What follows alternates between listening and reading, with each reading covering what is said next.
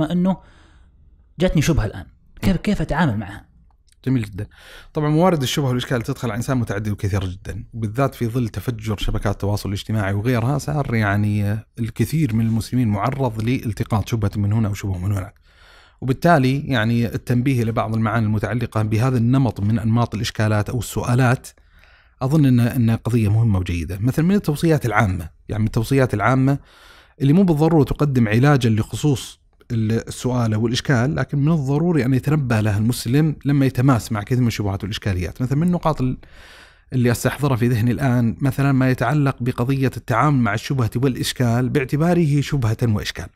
التعامل مع الشبهة والإشكال باعتباره شبهة وإشكال. جميل. يعني بعض الناس آه، تخلق عنده حالة السؤال وحالة الشبهة وحالة الإشكال أزمة.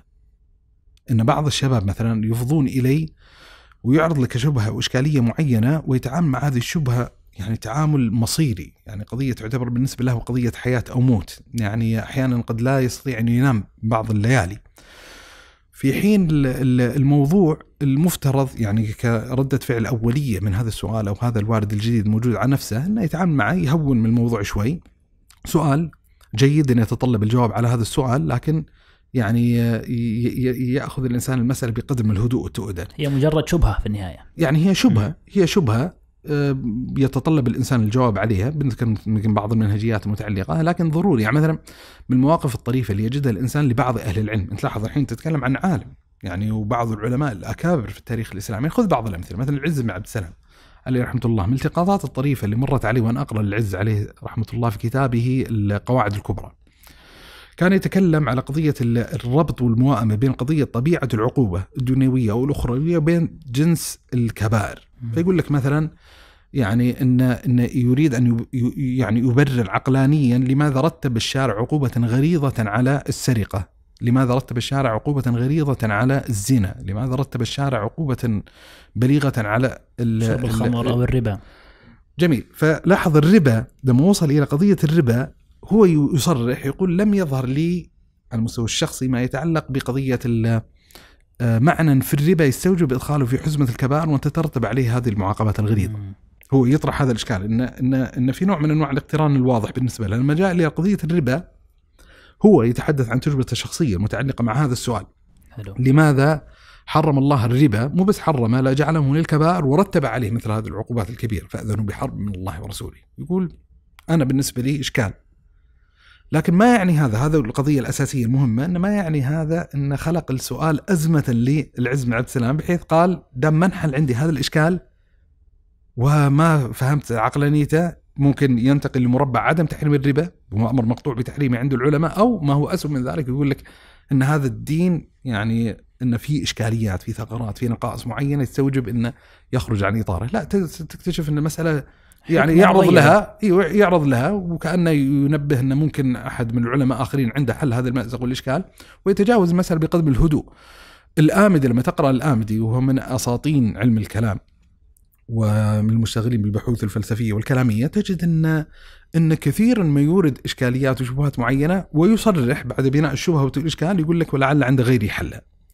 فيعني يعني نقدر حتى نفرع من فكرة التعامل مع الشبهه والاشكال باعتبار الشبهه والاشكال قضية ثانية اللي هي قضية ولعل عند غيري حلها، يعني بمعنى أن ليس بالضرورة إذا ما استطعت أن تقف على جواب السؤال ان أن لا يوجد جواب لهذا السؤال. أو قد يصير طاقتك العقلية عاجزة عن تفهم تفصيل ما يتعلق بهذا الجواب. بس هو أبو صالح عفوا هو يعني مثل العز بن عبد السلام وغيره من العلماء هو لما يقول لعل عند غيري حلها هو لكن عنده أه. عنده اليقين العالي جميل بأنه هذا بأنه حرمة الربا هو أمر مسلم به قطعا فهو قاعد يبحث عن الحكم الآن. جميل. لكن الإشكال عند بعض عند بعض الناس في أسئلتهم إنه يسبب عنده إشكال يكفي إنه مطلق الشك أو صار عنده موجود يعني.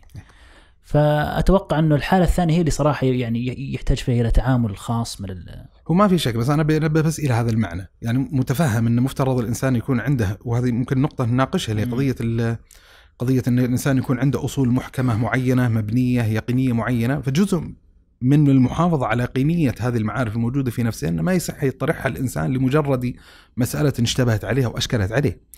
ولذا من الأشياء اللي أنا اعتب على بعض الشباب إنه ما يكون عنده حالة من حالات الركادة الفكرية صح التعبير بحيث إنه يعني أن كل ما عصفت به عاصفة باتجاه معين بسؤال معين تجده مباشرة يقفز إلى المربع الجديد الخانة الفكرية الجديدة.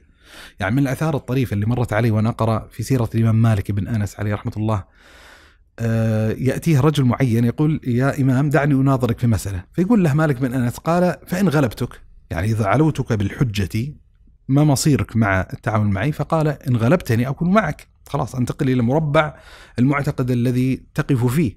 فقال فإن غلبتني؟ قال تكون معي.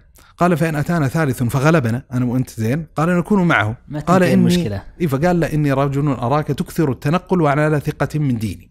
يا سلام. فايوه إذا عند الإنسان ثقة من دينه فليس مع كل هيئة مع كل شبهة مع كل إشكال يقفز الإنسان مباشرة. يحتاج نوع من الركادة العلمية يحافظ على قدر من الاتزان النفسي في التعامل مع هذه الشبهة والإشكال ويتطلب الجواب بطبيعة الحال. يعني ليس محظورا إحنا أصلا ذكرنا أن السؤال مشروع. ويتطلب الجواب السؤال المشروع سيكون تطلبه امرا مشروعا.